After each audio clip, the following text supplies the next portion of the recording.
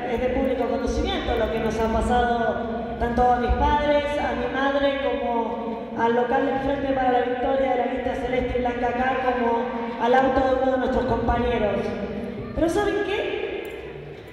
Hay algo que, hay algo que quizás, ¿saben lo primero que pensé? Lo primero que pensé cuando me enteré, lo primero que pensé cuando me enteré es, yo no necesito andar la noche escondida haciendo cosas raras. Yo puedo mirar a los ojos a cada uno de mis vecinos. Yo no necesito andar escondiéndome.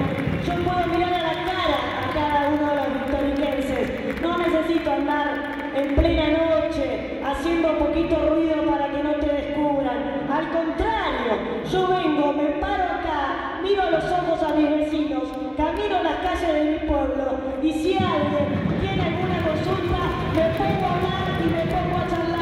Yo no de agresiones, yo no sé de insultos, yo de